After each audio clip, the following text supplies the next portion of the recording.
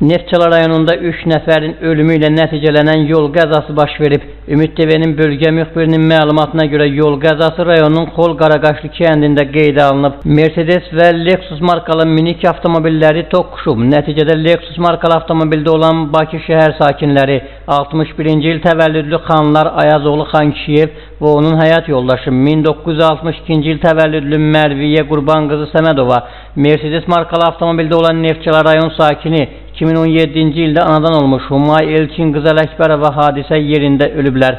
Mercedes markalı avtomobilin sürücüsü 35 yaşlı Xol Qaraqaşlı kənd sakini Habil Əbülfət oğlu Həşimov və daha iki nəfər Neftçala rayon mərkəzi xəstəxanasına yerləşdiriliblər. Bu gün günorta saatlarında rayon ərazisində baş vermiş avtoqəza nəticəsində Neftçala mərkəzi rayon xəstəxanasına 3 nəfər travma almış xəstə daxil olmuşdur.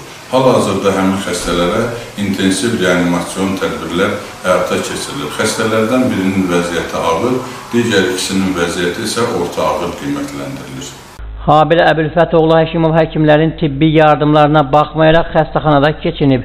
Bu nə qədər onun vəziyyətinin ağır olduğu deyilirdi. Fakla bağlı araştırma aparılır. Arif Balakişiyev, Ümit Teve, Nefçala,